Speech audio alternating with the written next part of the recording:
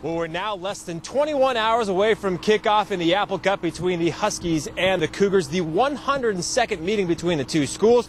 Washington State arriving here on campus about an hour ago. They got on the field for a walkthrough, making sure they got those final adjustments before tomorrow's meeting.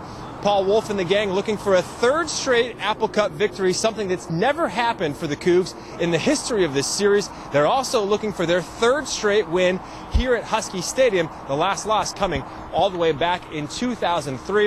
Of course, we'll have much more on the Apple Cup matchup coming up tonight at 11 on KXLY4 HD News. I'm Derek Deis in Seattle, KXLY4 HD News.